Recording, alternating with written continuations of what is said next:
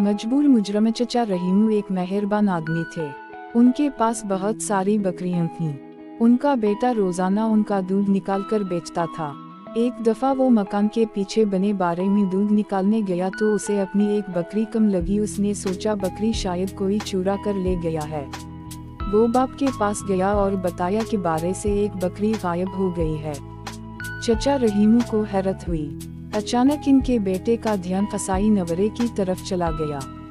इसने शक का इजहार अपने बाबा से किया तो चचा रहीमू ने कहा, बुरी बात किसी पर इल्ज़ाम नहीं लगाते।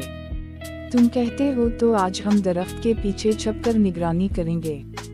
जब चचा और उनका बेटा दरख्त के पीछे छपे हुए थे तो कसाई उनकी एक बकरी उठाकर ले जा रहा था।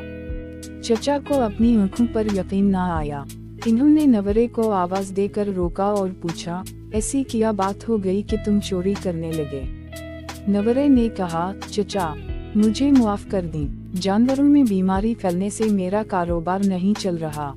मेरी मुँह घर पर बीमार पड़ी है। नूरा रोते हुए बोला, चचा ने नवरे के आँसू साफ़ किए और बोले, अगर तुम्हारी मुँह बीमार थी तो तुम मुझसे कहते, तुम्हें चोरी करने की क्या ज़रूरत थी अब तुम्हारी सजा है कि तुम सुबह से शाम तक मेरे बेटे के साथ बकरी चराया करोगे। इसके बदले में तुम्हारी माँ का इलाज कराऊँगा और खाना भी दूँगा।